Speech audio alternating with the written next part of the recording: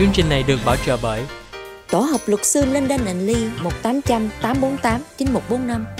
Gọi ngay Mango Tours 866 435 9746 để có vé máy bay giá ưu đại đến Việt Nam. Công ty chuyển tiền Hồng Lan, một thương hiệu đáng tin cậy. 888 880 8345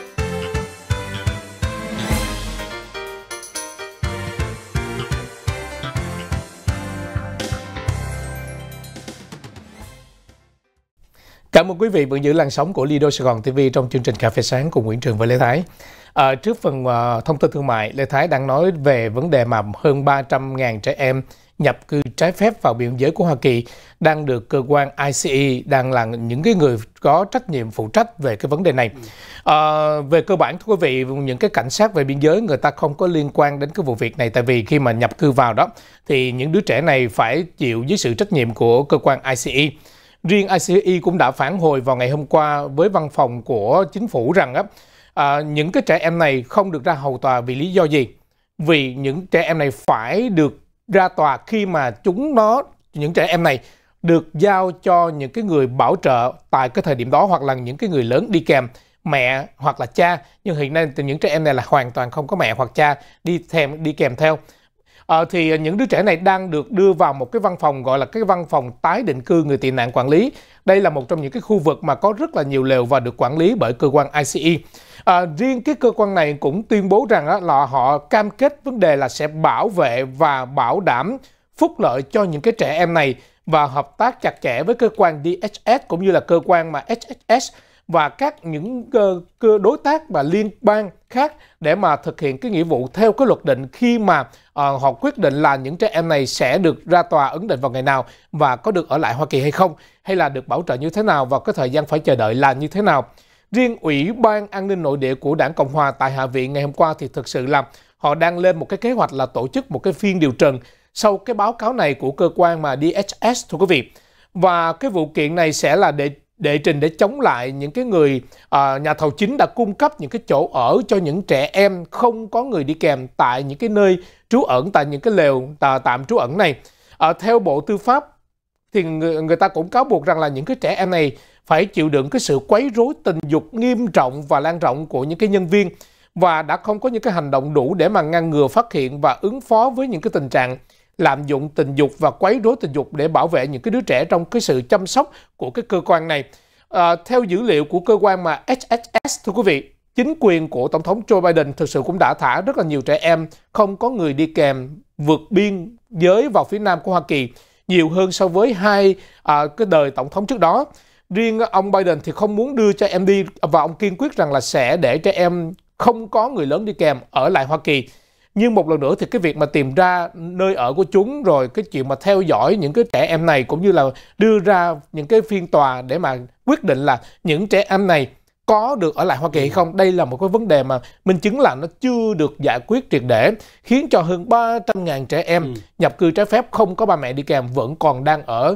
biên giới và những cái lều tạm ở dưới sự quản lý và giám sát của ICE. Riêng ba hơn 300.000 trẻ em này mà nếu như không được quản lý chặt chẽ thì làm sao một cái cơ quan ICE này đủ nhân viên, đủ cái đủ cái nhân lực để mà quản lý sát siết sao từng trẻ một như vậy. Thành ra xảy ra những cái vấn đề bên trong nghiêm trọng mà hiện nay nhiều người người ta cũng đang lên tiếng thì chúng ta thấy rằng vấn đề nhập cư vẫn đang là một vấn đề nhức nhối không chỉ riêng ở Hoa Kỳ mà một số quốc gia khi người ta cũng có những người nhập cư thì người ta cũng rất là nhức nhối về vấn đề này thưa anh Kiều. Ờ, mỗi khi mà tới mùa bầu cử tổng thống đó thì những cái vấn đề được mang ra nói nhiều nhất đó là vấn đề người nhập cư rồi vấn đề phá thai rồi vấn đề về kinh tế đó là những cái vấn đề mà khi mỗi lần có bầu cử tổng thống đó thì người ta lại mang ra những cái vấn đề này để nói và những cái chính sách của à, các vị cựu tổng thống trước đây hay là vị tổng thống mà đương nhiệm đó thì cũng đang à, gây tranh cãi cho nhiều những cái vấn đề mà người nhập cư ở nước Mỹ này.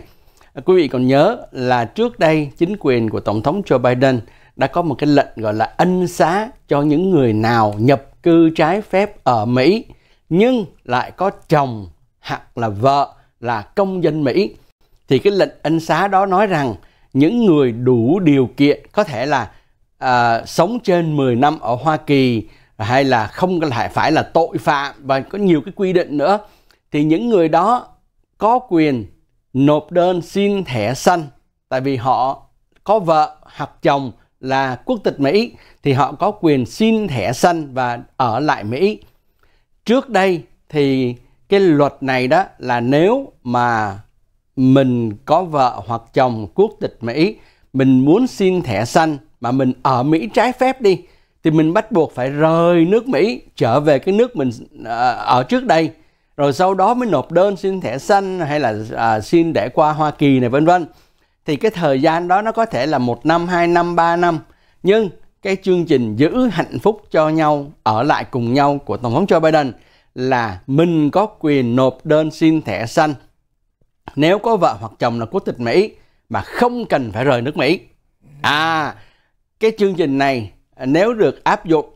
thì có khoảng 500.000 người sống bất hợp pháp ở Hoa Kỳ mà có vợ hoặc chồng là quốc tịch Mỹ mà đã trên 10 năm ở đây rồi nữa. À, mà cũng có con chung với nhau mà không phải là tội phạm thì 500.000 người đó đủ điều kiện để mà nộp đơn xin thẻ xanh. Thế nhưng ngày hôm qua thì một thẩm phán ở Texas đã tạm thời block, tạm thời ngưng cái chương trình ân xá này và nói rằng là chúng tôi à, tạm ngưng cái chương trình. À, tại vì cái này đó nó bắt đầu vào ngày 19 tháng 8 vừa rồi ngày 19 tháng 8 vừa qua rất nhiều người đã nộp đơn. Họ nói rằng là đây là cái thời điểm mà họ đã trông chờ bao nhiêu năm nay. À, sống ở đây không có giấy tờ hợp pháp mà mình lại có chồng hoặc là vợ là người quốc tịch Mỹ nữa. Thì bây giờ đây là cái cơ hội của mình. Thì ngày 19 tháng 8 vừa qua thì rất nhiều nơi đã nhận đơn của những người này. À, nhưng mà một thẩm phán ở bên Texas đã đã đã hoãn lại hoãn lại cái chương trình này và nói rằng là còn phải còn có nhiều vấn đề được bàn tới nữa trước khi mà chấp thuận. Tuy nhiên, cái việc mà ông ta nói rằng là ân xá cho những cái người ở đây bất hợp pháp không phải trả họ về nước của họ rồi mới nộp đơn xin thẻ xanh này kia đó thì cái đó là tạm ngưng. Tuy nhiên, cái không ngưng đó là tiếp tục nhận đơn. À, ngưng cái việc mà tổng thống nói là phải à, cho họ ở đây rồi cho họ nộp đơn xin thẻ xanh vân vân đó mà không phải trả ngược họ về thì cái đó bị ngưng lại cho nên à, cái vấn đề mà không ngưng ở đây đó đó là cái mà tiếp tục nhận đơn đó. sau khi mà thẩm phán không còn hủy cái đó nữa đó thì có thể là những cái người đó à, sẽ tiếp tục cái à, quy trình để nộp đơn xin được thẻ xanh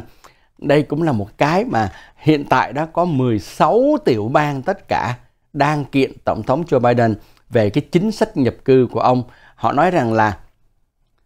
có nhiều cái à, khúc mắc ở trong cái luật lệ đó à, khi mà tổng thống Joe Biden ra cái lệnh nói rằng là ân xá cho những cái người ở đây bất hợp pháp mà những người này đã ở trên 10 năm rồi à, không cần phải trả họ ngược về cái nơi mà họ đã sinh sống trước đây à, vân vân. À, trái với lại những cái gì mà trước đây những cái luật lệ nó đã có sẵn rồi cho nên chúng ta đang chờ xem là cái vị thẩm phán này có ra lại một cái lệnh khác để hủy bỏ cái lệnh ngưng đó hay không. Dạ vâng, ừ. khi mà anh Trường nói về thông tin này thì có một số mà chú, uh, quý vị khán giả chúng ta cũng thấy rằng hay nói là uh,